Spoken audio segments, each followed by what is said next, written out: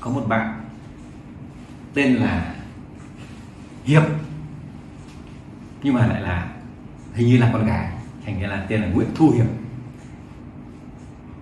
Bạn hiệp có hỏi một câu mà mà đúng là cũng mọi người cũng hay quan tâm đấy. À, Nguyễn Thu Hiệp có hỏi câu là thầy ơi cho em hỏi là màu sơn nhà có ảnh hưởng đến phong thủy không ạ? Màu sơn nhà. À, thực ra ngôi nhà nó có hai phần hình dáng và màu sắc thì cái hình dáng này bao giờ nó cũng ảnh hưởng nhiều hơn chi phối nhiều hơn. Còn cái cái cái màu sắc phong thủy thực ra theo những cái nghiên cứu của tôi nó cũng không phải là cái chi phối quá lớn đâu.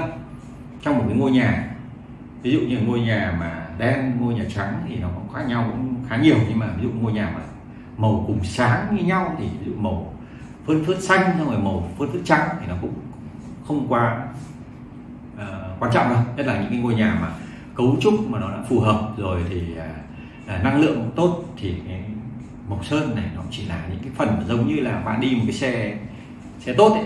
Bạn đi một con con xe mẹc ấy. So với cả một con xe Mazda thì cái con xe mẹc mà nó hợp à con xe mẹc mà nó màu nó chưa hợp với cả bạn và so với con Mazda mà nó không hợp với cả bệnh của bạn thì đi mẹc nó vẫn tốt hơn. À, nó vẫn đi xa hơn nó vẫn đảm bảo an toàn hơn là do bạn đi một con Mazda 3 chẳng hạn như vậy. Thì à, nếu mà tính về tính điểm phong thủy mà nói thì cái màu sắc nó chỉ là chiếm những cái phần mà rất là ít.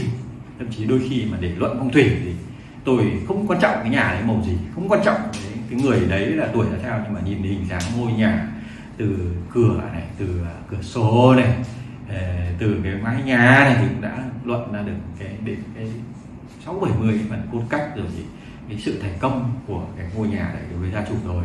À, bất chấp ngôi nhà đấy là chủ là ai bất chấp ngôi nhà đấy là chủ mệnh gì. Đó thì là những cái phần liên quan đến à, bạn nên quan tâm nhiều đến cái nhất là một vị trí cấu trúc. Đấy, thì những cái đấy bạn nên quan trọng nhiều hơn. Chứ còn à, phong thủy thì, thì về màu thì có cũng được.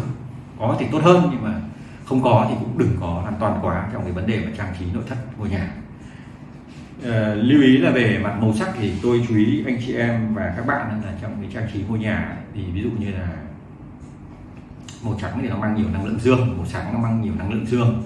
Thì những cái ngôi nhà mà không gian nó bị tù túng quá nó chặt hẹp quá thì bạn nên sơn trắng ngôi nhà nên sơn sáng ngôi nhà.